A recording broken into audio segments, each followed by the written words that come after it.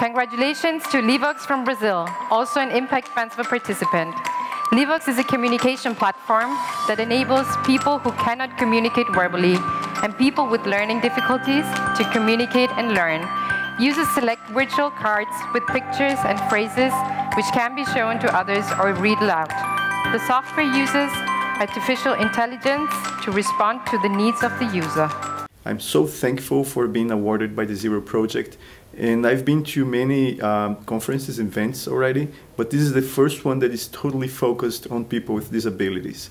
And as a parent of a child with a disability, being awarded by the Zero Project is a major honor for me. So thank you so much.